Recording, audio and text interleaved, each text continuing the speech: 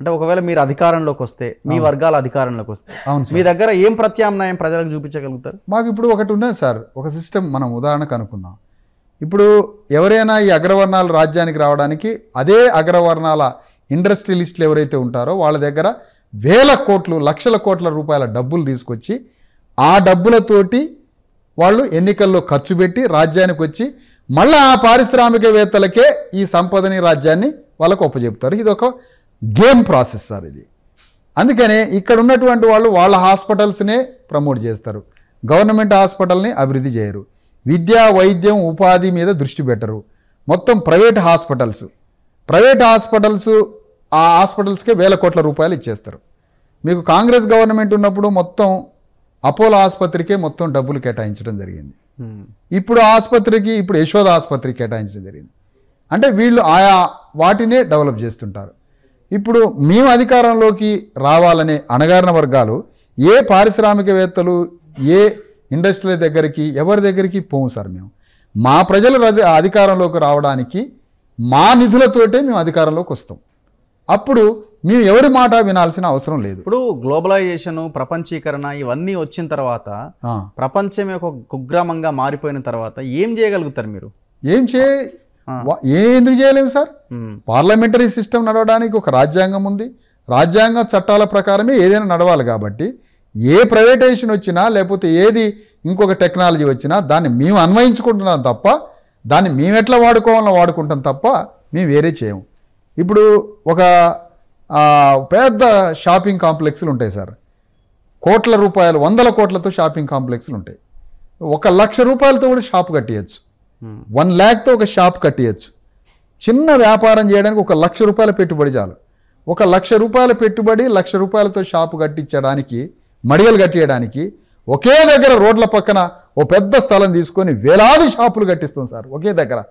ఈ అణగారిన వర్గాలు మొత్తం అక్కడ వ్యాపారం చేసుకోమని చెప్తాం. ఒక్కొక్క జిల్లాలో ఒకే లక్ష రూపాయల డబ్బుతో షాపు మడిగ కట్టేయచ్చు ఒక లక్ష రూపాయల పెట్టుబడి ఇవ్వచ్చు మొత్తం ఆడ కాంప్లెక్స్ తయారైంది అనుకోండి సార్. అడవులనే కాంప్లెక్స్ కట్టినాం అనుకోండి. లేదా రోడ్ల పక్కన కాంప్లెక్స్ అదే వ్యాపార కేంద్రం అయిపోద్ది.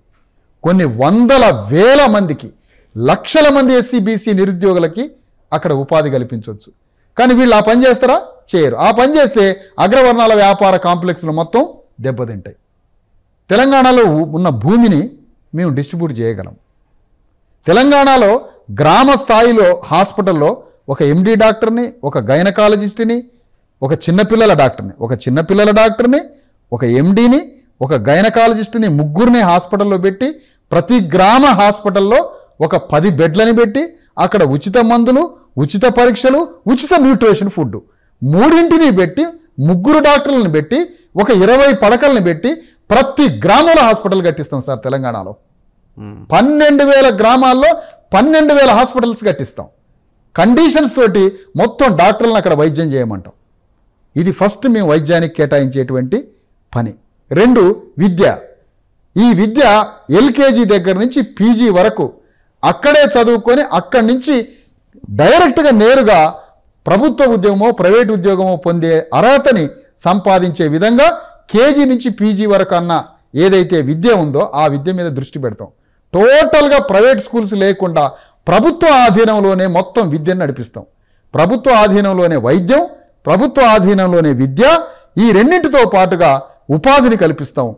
వాళ్ళకు అనేక నైపుణ్య టెక్నాలజీలను ఇచ్చి అనేక వందల మందిని అమెరికా పంపిస్తాం సార్. వేల మందిని విదేశాలకు పంపిస్తాం. పంపించి స్కిల్ టెక్నాలజీ మొత్తాన్ని వాళ్ళకి కేటాయిస్తాం. ఇవి మేము చేసి అంటే ఎప్పుడైనా ఇండస్ట్రియలిస్టుల దగ్గర ఉన్న లక్షల కోట్ల రూపాయలు ఆ సంపద తొంభై మందికి కావలసిన సంపద నాలెడ్జి తొంభై మందికి కావాల్సినటువంటి టెక్నాలజీ పది మంది దగ్గరే ఉంటుంది సార్. మేము రాజ్యానికి వచ్చినప్పుడు పది మంది దగ్గరికి పోయేటువంటి సంపదని డీసెంట్రలైజ్ చేసినప్పుడు అది తొంభై మందికి చేరుతూ ఉంటుంది. అది ల్యాండ్ కావచ్చు వెల్త్ కావచ్చు టెక్నాలజీ కావచ్చు నాలెడ్జ్ కావచ్చు పెట్టుబడులు కావచ్చు ఏదైనా కావచ్చు.